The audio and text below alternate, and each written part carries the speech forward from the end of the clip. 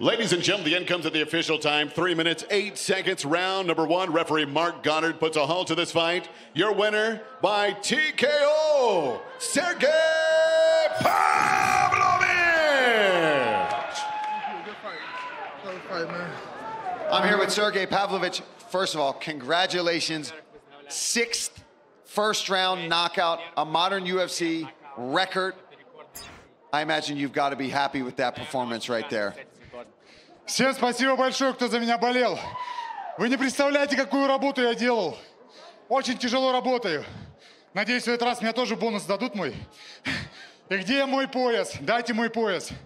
Thank you very much for everyone who was rooting for me. You don't even understand how hard I was working. There was so much work done. And hopefully this time I'll get a bonus again. And hey, where's my belt? Yeah, that was my next question going to be. You were the backup for that last title fight, and now I know with a big knockout over somebody like Curtis Blaydes, that has got to be what's next. What is your message to the heavyweight division and Jon Jones in particular? Кто-то там говорил, что э, Кертис Блейдс, ему уважение, ни в коем случае там не говорю что-то плохо. Но кто-то говорил, что он меня переведет вниз. И чё, ответьте. Big respect to Curtis Blade, he's great, but hey, somebody was saying that he was going to easily take me down. And what are you going to say now? Well, that's exactly what I was going to talk about. Listen, we talked a lot in the fighter meetings and things about how you were going to have to be worried about the takedown defense, but you you you D'd him up with no issues. Was that something that you felt in training camp? Насколько я смотрел все время UFC, всегда бонусы давали, когда страйкеры выигрывали. Поэтому я могу бороться. Но бонусы не дают. Дают. Иногда воруют у меня, когда я нокаутом выиграю, не дают его. Надеюсь, сейчас точно дадут. As far as I was watching the UFC, usually it's the strikers that knock people out that get bonuses. Usually they don't give it to people that finish on the ground. So hey, that's another finish standing up. That's another bonus, I'm thinking, right?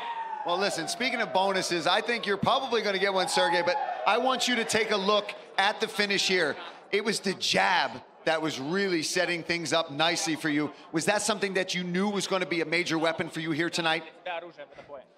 На самом деле, я предполагал, что Кертис э, усовершенствует стойку, он захочет со мной подзарубиться. После того, когда он пропускал, пошел, попытался пройти, он понял, что борьба не сработает.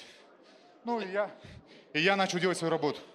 I was actually ready for the fact that Curtis was going to be much better standing up. I knew that he was working on his stand up. So when, we, when he started fighting me, I realized, okay, he's strong, but then he wasn't going to try to take me down. He saw that the takedowns are not going to work, and so I figured I'm going to do my job standing up. Well, stellar performance, six straight first round finishes. That's a record that nobody can doubt. Unbelievable performance. Sergei Pavlovich, ladies and gentlemen.